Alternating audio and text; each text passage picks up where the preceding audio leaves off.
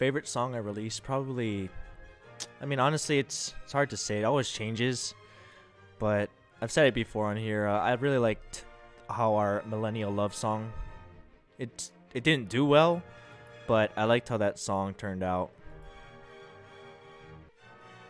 How underrated? Yeah, I mean, I um, I get it though. You know, it's like country, and it's not. It wasn't the most like relevant topic at the time, but I liked how it turned out. That's why I like it. If I had to pick, I also really liked Coffee Shop Love. How that sounded. Um, all those all the songs I did with Josh, man, he's so good at uh Josh Golden. Yeah, SWG. All the songs I did with him, he's so good at making melodies and stuff. Like, I'm, I'm happy with those. I think Coffee Shop Love was like up there too for me. If I could go back, I would reperform it differently. At the time, I was trying to do like a whole monotone Drake voice thing, but it didn't really work out the way I wanted. What was I doing? Hold on, let me listen to that.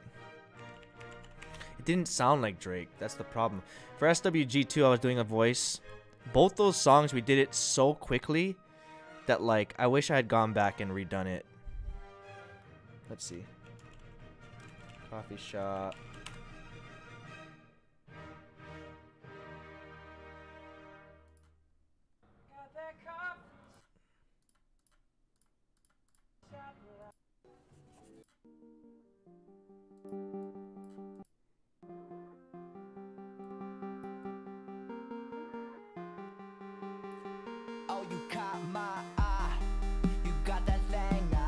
Oh yeah. Now I remember how I did.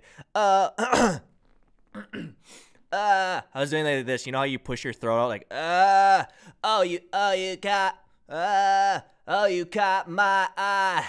You got that thing I like. That's how I sang it the whole time. You got uh you you got that thing I like. Never been in love, but I think I might be. It's like almost a little emo. You know what I mean? Uh, uh. Why did I sing it like that? Been in love, but I think I might be. It's like a little bit of emo with a little bit of rap, and I don't know why we didn't go back and fix that. Damn, bars. Where you at, Rendissima? I'm just kidding. I'm kidding. oh, you caught my eye. That's what I did. For you. It's like, now I think about it, it's super alternative. Like love at first sight. It's almost like, like love at first sight. Why did I do it like that? Yeah, you're stirring me up. It's bittersweet. Fun fact: There's certain words in there that I was working with our producer Sean, uh, not the Sean you guys know, um, and he would help coach me with words, like some words that were like, uh, like okay, here's a good example. Cause I already got one instead of already. You see that? You see how cool I am? Cause I already, cause I already got one. I didn't know how to say words cool. There's another one earlier that I was struggling with. Ah. Even the word love, I couldn't do. Never been in love. But I had to say, never been in love. Oh, thank you, true love. Thank you. That worked out fine. Falling. Okay, that wasn't the word. Like sight, feet, type, skinny, yeah, up, see, what was the word I'm looking for? I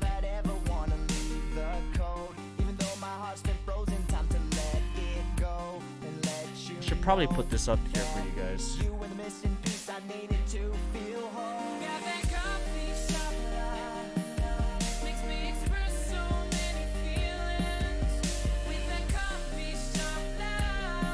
Josh's voice is hella good.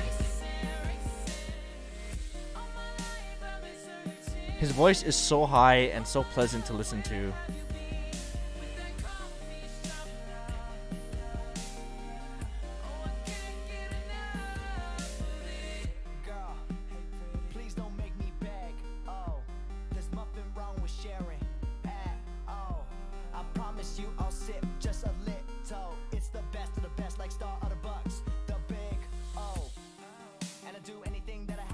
With you, listen to Chris Brown with you. I'm all ears when you need to ventate. I'm all the way right there, Ariana Grande. I was so proud when I wrote that line. And now looking back, it's really not really relevant to the song. Hold up, listen.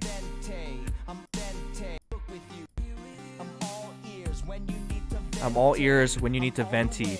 I'm all the way right there, Ariana Grande. Like I get it, like the sizes are the relation to coffee, but there's really no relevance other than that to Ariana Grande and her music. Her songs they weren't even like that popular.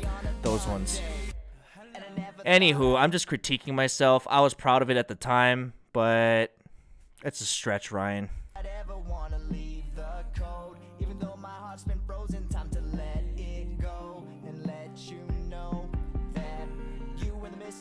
I needed to feel whole.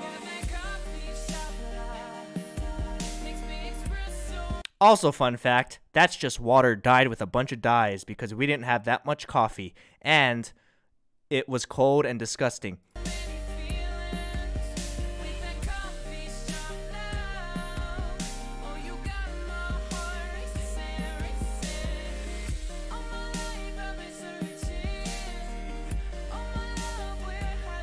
fun facts. I'm exposing my ass.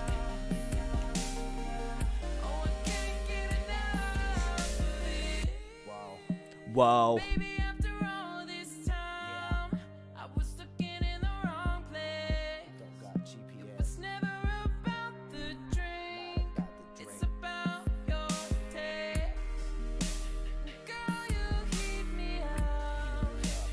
High. Them ad libs.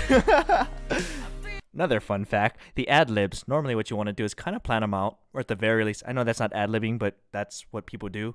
Um, we ran through it one take, and the producer Sean was like, "Oh, that's good." So we stuck with that. We literally made this song in a night, and we wrote it in a day at a coffee shop. That wasn't that fun, but that's a fact. Without you, Without you,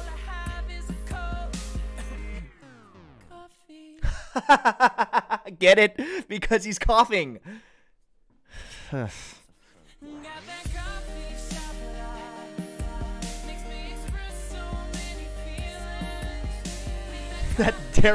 shop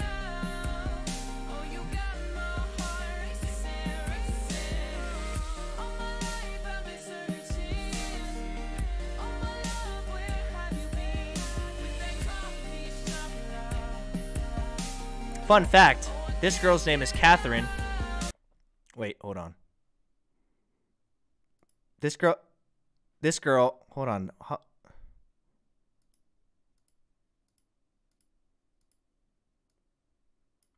Oh my god, what is going Okay, you know what? You see this little square down here? You see the square right here? I can't freeze it on the frame there because it's not working. I Oh there oh there we go. Okay. This so what was I gonna say now? Anyway, this girl's name is Catherine.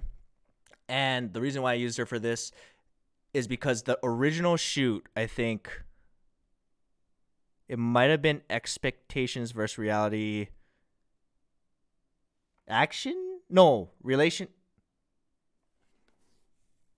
I don't know what it was. Anyway, we had to do a scene where I had to kiss her. I don't know if it was before this video. Um and essentially what happened was in Vegas, we don't know many people for one. We had to find people who would be for one down to do that and could act a little bit and had a certain look And anyway, we thought Catherine, she was a big help to us. She was in a lot of a lot of a few of the videos, um, like best worst boyfriend, best boyfriend ever. It was. Was that what is? Was that what it's called? Anyway, regardless, we had used her before for on-screen ki- for an on-screen kiss scene, and so like it wasn't like weird. You know what I mean? Like if you have already done it before, it's not a big deal. Um, and then for this one, at the time she wasn't dating anyone. For this one, she was dating someone. So we're like, okay, well, it's gonna be the same scenario. It doesn't really mean anything. Like if you were to act right, but it's just a little bit different. Oh, worst boyfriend ever. Yeah, that's what it was called. That's not the one I had to kiss her for, but um, but for this one, she was dating somebody. So at the same time, we have to think when we shoot it, we can't make it look.